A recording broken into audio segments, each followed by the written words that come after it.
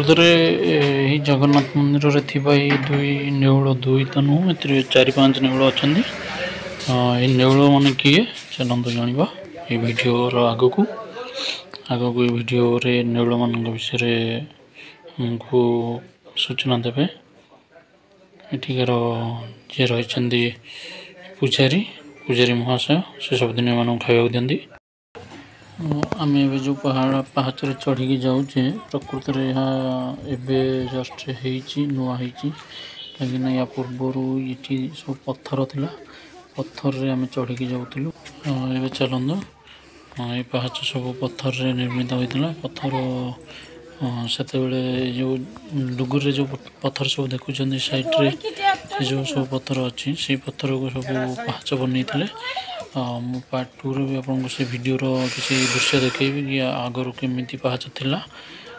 ଏବେ ବି ସେ ପାହାଚ ପଛପଟେ ରହିଛି। ଯେଉଁଠିକି ସେ ଭିଡ଼ିଓଟା ମୁଁ ଆପଣଙ୍କୁ ପାର୍ଟ ଟୁରେ ଦେଖେଇବି। ତ ଚାଲନ୍ତୁ ଏବେ ଯିବା। ଆମେ ଜଗନ୍ନାଥଙ୍କୁ ଦର୍ଶନ କରିବା। ଜଗନ୍ନାଥଙ୍କ ପରେ ସବୁ ଦେବାଦେବୀ ପାର୍ଶ୍ୱ ଦେବାଦେବୀ ଅଛନ୍ତି। ତାଙ୍କୁ ବି ଦର୍ଶନ କରିବା। ତ ଆଉ ଡେରି ନକରି ଚାଲନ୍ତୁ ଯିବା। ଜଗନ୍ନାଥ ମହାପ୍ରଭୁଙ୍କୁ ଦର୍ଶନ କରିବା।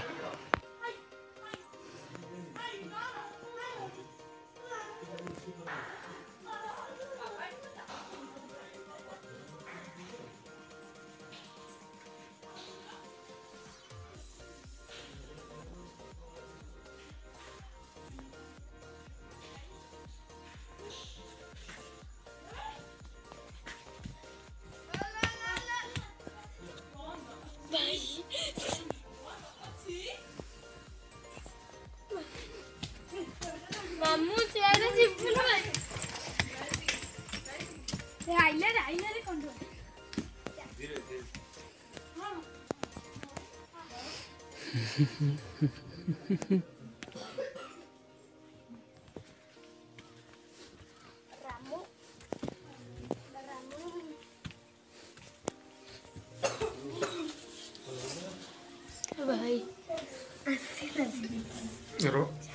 ପଡ଼ି ବଞ୍ଚୁ ଯଦି ତଳକୁ ଗଡ଼ିଯିବୁ। ଏ ଜୀବନ ମାନେ ନୁହେଁ ଦୁଇ ଦିନ ଜି ଯିବା ନିଜ ପାଇଁ। ସିଏ ତ ଦେବତା ମରି ବି ଅମର ଯିଏ। ଜି ଥାଏ ପର ପାଇଁ। ପର ସୁଖ ଦେଖି ଖୁସି ହୁଏ ଯେ ସ୍ୱାର୍ଥପର ଦୁନିଆରେ ଅନୁରାଗ ଭରା ଗୀତଟେ ଗାଉଛି ହୃଦୟରୁ ତାରି ପାଇଁ ଖାଲି ତାରି ପାଇଁ। ଇଏ ହେଲେ ଆମ ଜଗନ୍ନାଥ ବାଇଁଶିଆ ଡୁଗୁରର ମହାପ୍ରଭୁ ଜଗନ୍ନାଥ ପ୍ରଭୁ।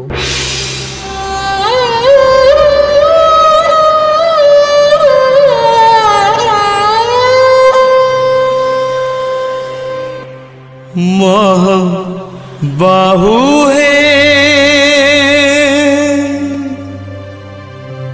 मोह बाहु है।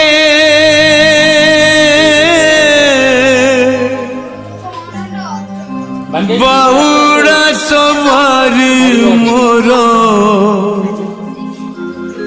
सजा हौ है।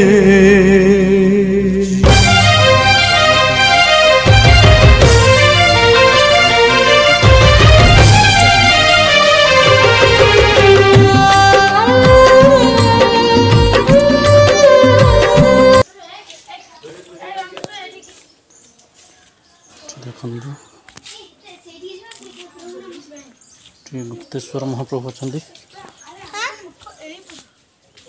ଗୁପ୍ତେଶ୍ୱର ଇଏ ବି ପ୍ରତିଷ୍ଠା ହେବା ପାଇଁ ରଖା ହେଇଛନ୍ତି ପ୍ରତିଷ୍ଠା ହେଇନାହାନ୍ତି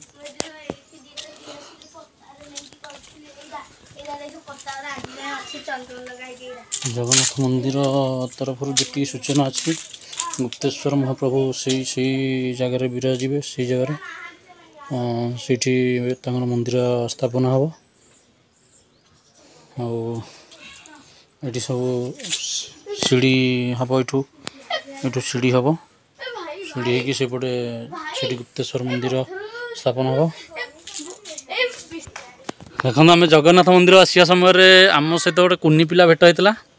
ତ ସିଏ ବହୁତ ମାନେ ଛୋଟ ପିଲା ହେଲେ ବି ବହୁତ ପ୍ର- ପ୍ରତିଭା ବର୍ତ୍ତମାନ ହାତେଇ ସାରିଲାଣି। ତ ସେ କ'ଣ କ'ଣ ପ୍ରତିଭା ପାଇଛନ୍ତି ବର୍ତ୍ତମାନ ତାଙ୍କ ମାମାଙ୍କଠୁ ଶୁଣିବା। ସେ ତ ଛୋଟ ପିଲା କହିପାରିବନି। ତ ତାଙ୍କ ମାମା କହିବେ।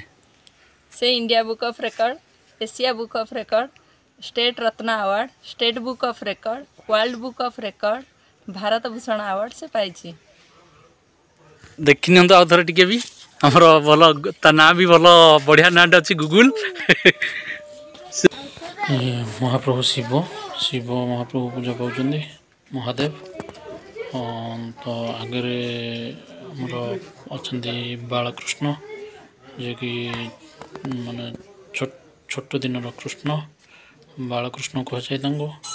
ଲବଣୀ ଖାଉଛନ୍ତି ପାଖରେ ବି ଗାଈ ଅଛନ୍ତି କାମଧେନୁ। ବାଳକୃଷ୍ଣ ଅଛନ୍ତି। ବାଳକୃଷ୍ଣଙ୍କ ମୂର୍ତ୍ତି ସ୍ଥାପନ ହୋଇଛନ୍ତି। ଆଉ ସେଠି ଆମର ଶିବ ମନ୍ଦିର। ଶିବ ମନ୍ଦିର ବି ସରିଯାଇଛି। ଖାଲି ପ୍ରତିଷ୍ଠା ହେବା ବାକି ରହିଛି ତ ଏଇପଟେ ଏଇପଟେ ଗଲେ ଆମର ହେଉଛି ଅ, ନୀଳମାଧବ ଅଛନ୍ତି ଅ, ଆମର ଯେଉଁ ଶିବ ଠାକୁର ଅଛନ୍ତି ମହାଦେବ ମହାଦେବ ଏଇଠି ଏଇଠି ସ୍ଥାପନ ହେଇଛନ୍ତି ମନ୍ଦିର ସ୍ଥାପ ମନ୍ଦିର ପ୍ରତିଷ୍ଠା ହେଇନି ବୋଲି ସେ ବର୍ତ୍ତମାନ ଏଇଠି ସ୍ଥାପନ ହେଇଛନ୍ତି ଅ, ଏଠି ଆମର ନୀଳମାଧବ ମହାପ୍ରଭୁ ଅଛନ୍ତି ନୀଳମାଧବ। ସିଏ ହେଲେ ନୀଳମାଧବ ଆଉ ତାଙ୍କ ସହିତ ଅଛନ୍ତି ଜରାସବର। ଏଠି ମହାପ୍ରଭୁ ଗଣେଶ ଅଛନ୍ତି। ଗଣେଶଙ୍କ ସହିତ ମା ଲକ୍ଷ୍ମୀ ବି ଅଛନ୍ତି। ଆମର ଗୋଟେ କଥାରେ କାହାବ କାହାବତ ଅଛି କି ଏ, ଯେଉଁଠି ଏ, ଧନ ଅଛି ସେଠି ଜନ ନାହିଁ ଯେଉଁଠି ଜନ ଅଛି ସେଠି ଧନ ନାହିଁ। ତ କିନ୍ତୁ ଏଇଟା ଭୁଲ କାହିଁକି ଏକ ଜାଗାରେ ବି ଗୋଟେ ଜାଗାରେ ବି ଦେଖନ୍ତୁ ମହାପ୍ରଭୁ ଗଣେଶ ଓ ମାତା ଲକ୍ଷ୍ମୀ ଦୁଇ ଜଣଙ୍କ ପୂଜା ପାଉଛନ୍ତି ତେଣୁକରି ସେମିତି କିଛି ନାହିଁ ଆପଣ ଅନ୍ଧବିଶ୍ୱାସକୁ ପ୍ରୋତ୍ସାହନ ଦିଅନ୍ତୁ ନାହିଁ ଏଠି ଆମର ପ୍ରଭୁ ନୀଳ ସରି ଗିରି ଗୋବର୍ଦ୍ଧନ ପ୍ରଭୁ ଶ୍ରୀକୃଷ୍ଣ। ଗିରି ଗୋବର୍ଦ୍ଧନ ଦେଖୁଥିବେ। ତ ଇଏ ଦେଖନ୍ତୁ। କେତେ ବଡ଼ ପାହାଡ଼କୁ ସେ ମୁଣ୍ଡେଇକି ରଖିଛନ୍ତି। ଗିରି ଗୋବର୍ଦ୍ଧନ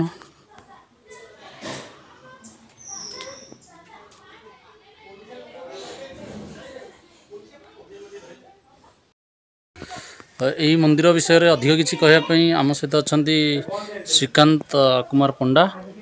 ସେ ହେଉଛନ୍ତି ମ, ଏ ମନ୍ଦିରର ଆକ୍ଚୁଆଲି ରକ୍ଷଣାବେକ୍ଷଣ ଦାୟିତ୍ୱରେ ଅଛନ୍ତି। ଅ, ଦ- ଦଳପତି ବା ସଭାପତି। ତେଣୁକରି ସେ ଆମକୁ ଅଧିକ ସୂଚନା ଦେବେ। ଏଇ ଏଇ ଯେଉଁ ମନ୍ଦିର ଆମର ସ୍ଥାପନ ହେଇଥିଲା ଆଜ୍ଞା ଏଇଟା କେବେ ମ, ସ୍ଥାପନ କେବେ ହେଇଥିଲା ଆଉ କେମିତି ଏଠିକି ଲୋକ ଆସୁଥିଲେ? ଆଜ୍ଞା ଅ, ଯେତେବେଳେ ଏସବୁ ପାହାଚ ତ ହେଇଥିଲା ଆମେ ଦେଖିଛୁ ପାହାଚ ହେଇନଥିଲା। ତ ସେତେବେଳେ ଲୋକ ଏଠିକି କେମିତି ଆସୁଥିଲେ? ଆଉ ଯେଉଁ ରହିଛି ଆମର ଚାରିପାର୍ଶ୍ୱ ଏବେ ଯେଉଁ ସୌନ୍ଦର୍ଯ୍ୟ ହେଇଯାଇଛି ତ ସେଇଟା ତ ଆଗରୁ କିଛି ନଥିଲା। ତ ସେଇଟା କେବେ ମ, ଅ, ସବୁ କିଏ ବହନ କଲେ ଆଉ କେମିତି ହେଲା ସେ ବିଷୟରେ ଆମକୁ ଟିକେ କହିବେ ଆଉ ମନ୍ଦିରର ଇତିହାସ ବିଷୟରେ କିଛି କହିବେ। ଏହି ମନ୍ଦିର ଅଠରଶହ ତେପନ ମସିହାରୁ ଆରମ୍ଭ ହୋଇଛି।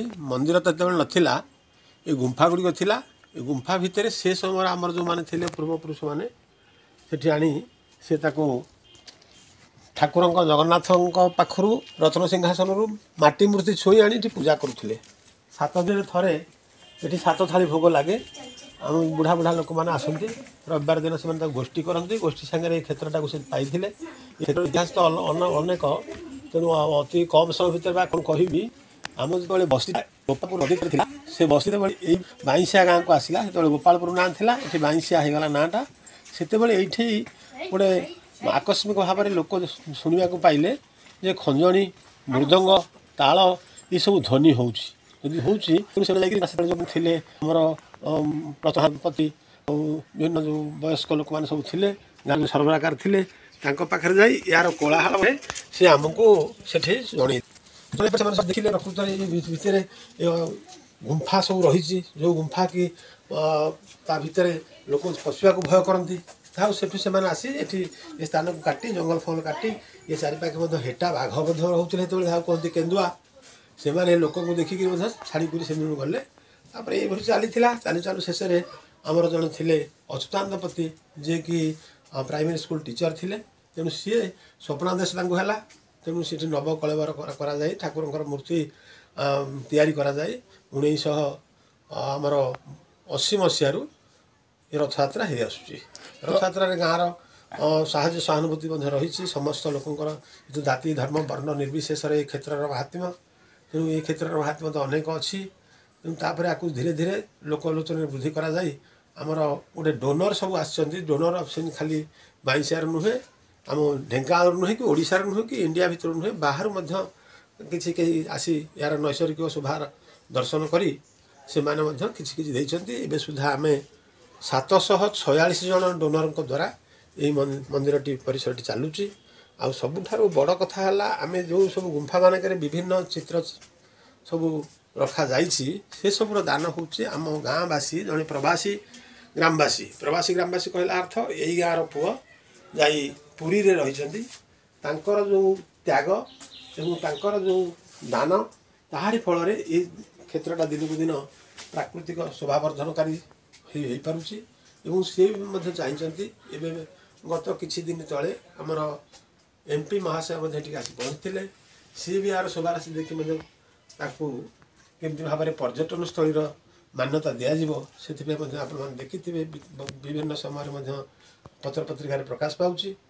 ତେଣୁ ଲୋକମାନଙ୍କର ଦେହରେ ବର୍ତ୍ତମାନ ଏ ଦିନକୁ ଦିନ ବଢ଼ି ଚାଲିଛି ତ ଆଉ ଗୋଟେ କଥା ଆମେ ଅ, ଏଇ ଗାଁର ପିଲା ମୁଁ ତ ମୁଁ ଗୋଟେ କଥା ଶୁଣିବାକୁ ପାଇଥିଲି ଯେ ଯେତେବେଳେ ଭଗବାନଙ୍କୁ ପ୍ରଥମେ ଭଗବାନ ଥିଲେ ଏଇ ଏଇ ଗୁମ୍ଫାରେ ଥିଲେ ବୋଲି ମୁଁ ଶୁଣୁଥିଲି।